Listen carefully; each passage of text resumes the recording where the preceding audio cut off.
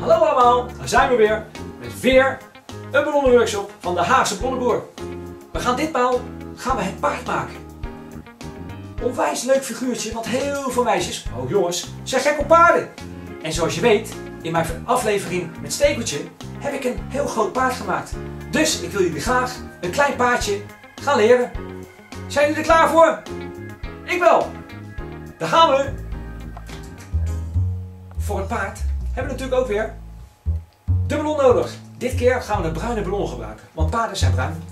We blazen de ballon even op. Zo. En hou er rekening mee, ook met het paard, dat je ongeveer 5 vingers overhoudt voor het vouwen. En we knopen hem weer dicht. Voor het paard gaan we beginnen met een bolletje.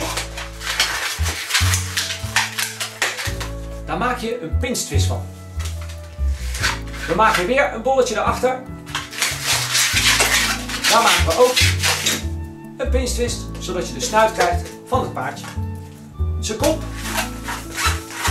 maken we een heel klein bolletje. Weer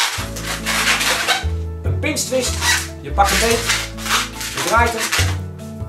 Dit is één oor. Je maakt weer een bolletje. Je draait hem. Je maakt de tweede pinstwist. En je hebt de kop van het paard met zijn lippen en zijn twee oren. Dan krijg je zijn nek. Dan maak je een heel klein bolletje. Zo klein, zie je? Dan maak je ook weer een pinstwist van. Daarmee zetten we het paard op slot. We maken twee voorbenen. Dit is één been. We maken weer een voorbeen. Zo. We maken het lichaam achter.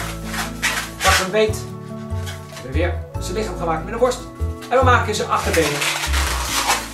Draaien. We doen hem samen. Draaien op slot. En tada!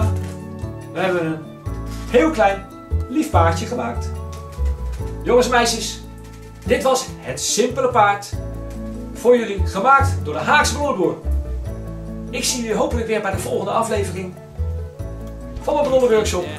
En uh, onthoud hè, ik zie jullie volgende keer weer bij een aflevering van Stekeltje en mij. Doei! Een konijntje of een olifant, een paardje of een stier.